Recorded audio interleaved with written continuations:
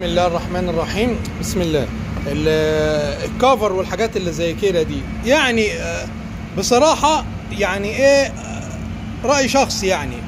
نفضل إن ده ما يبقاش كده.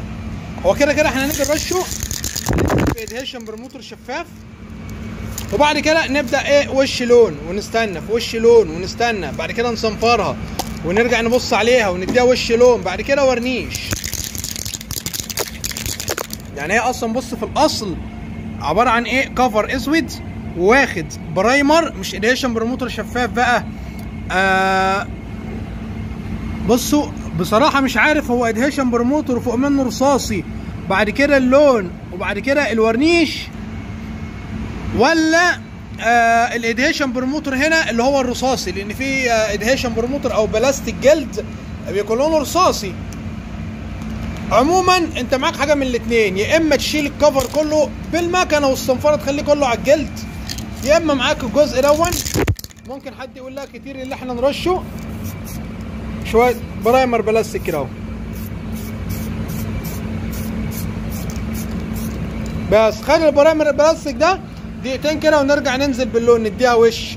ما ينفعش نديها وش والتاني وندي ورنيش. هتلاقي الحاجات دي حورت. عملت تحوير ومص كده. ليه؟ لأن ده هنا أعلى من ده. الدهانات دي أعلى من ده. مفهومة؟ فهتيجي بعد الورنيش هتلاقيها عاملة تحويرة. فإحنا بنديها وش ونستنى. ونديها وش عفر ما تكبس عشان لو كبست ممكن تفوش لأن ده حرف بيكون ضعيف.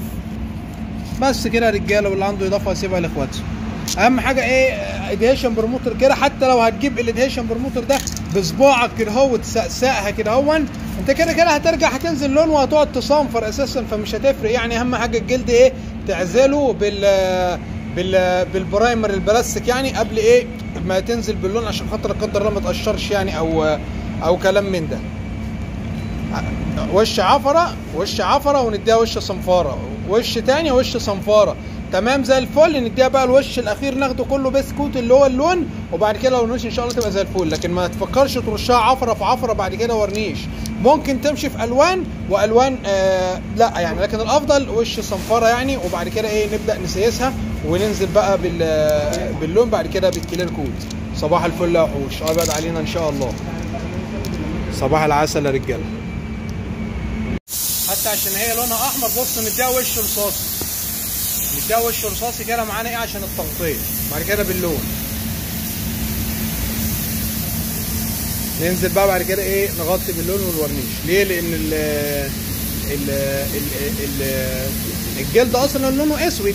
فصعب إن الأحمر يغطي بسهولة. لازم إيه تنزل رصاصي. يا إما ننزل اللي هو ال primer البلاستيك اللي هو اللي بيكون لونه رصاصي 2K اللي بياخد مصلب. شايفين يا رجالة؟ وننزل. كده بقى اللون إن شاء الله يغطي على طول. لكن لازم عملية الإيه؟ الصنفرة. بصوا. شايفين التحوير ده؟ ده عالي وتحس إن ده واطي لتحت. محتاج إيه؟ كذا وش وبعد كده ونديها وش صنفره بعد كده ننزل اللون والورنيش.